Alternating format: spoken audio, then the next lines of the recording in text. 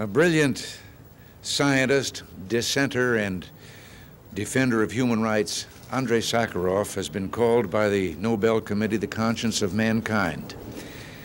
Andrei Sakharov has chosen a life of conscience, explaining why with these simple words I felt that I did not have the right to keep silent.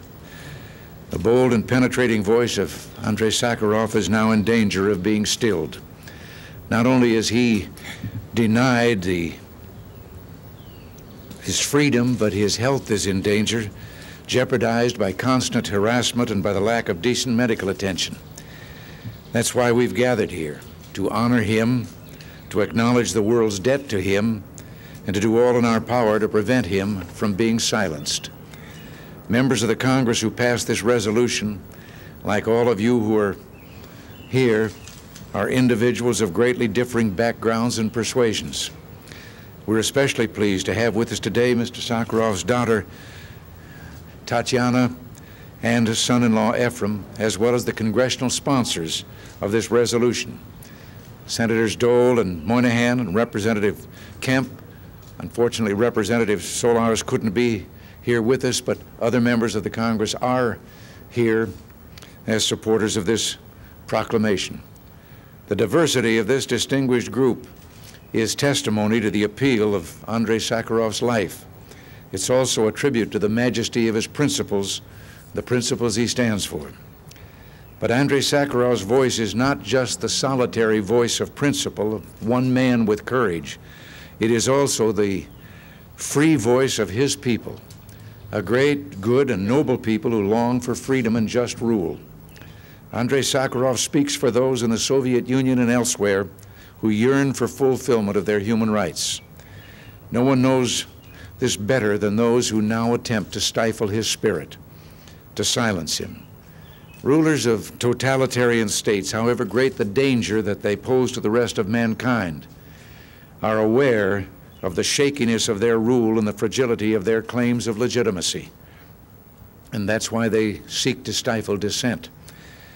And that's why we must never stand by in silence as they do. The words of Andrei Sakharov that I quoted earlier remind us that speaking the truth is more than a right or privilege, it's an obligation and a duty. In this, we must follow his lead.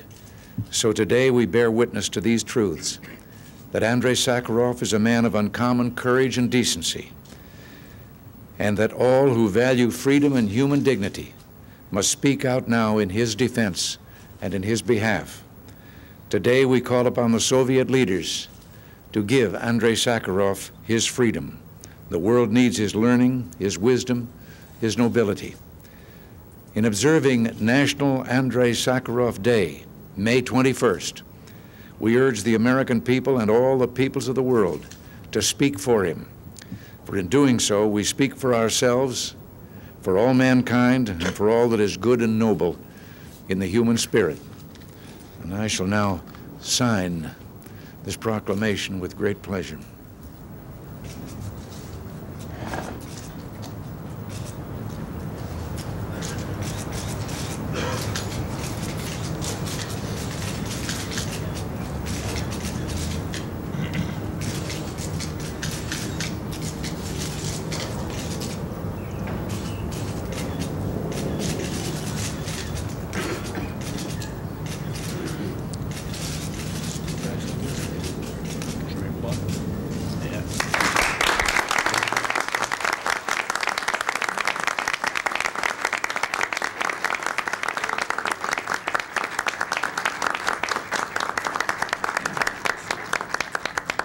Mr. President. Mr. President. Professor Glashow, who's president of the Sakharov Association. Well, a great pleasure to meet you, sir. Great pleasure for me to meet you, to have you here. We're honored.